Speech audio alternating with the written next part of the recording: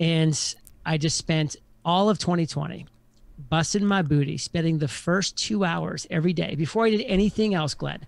No phone, no email, no computers, nothing. First two hours committed to writing this book 500 words, 1,000 words.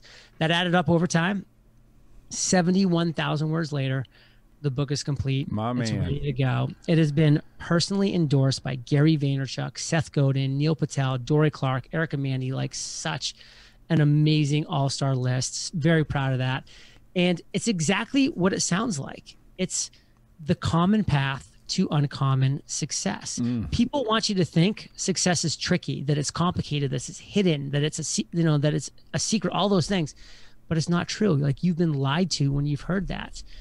The path to uncommon success, it's simple, it's clear. It's not easy, but it's simple and it's clear and it's there for you. It's a common path to uncommon success. So I wrote this book.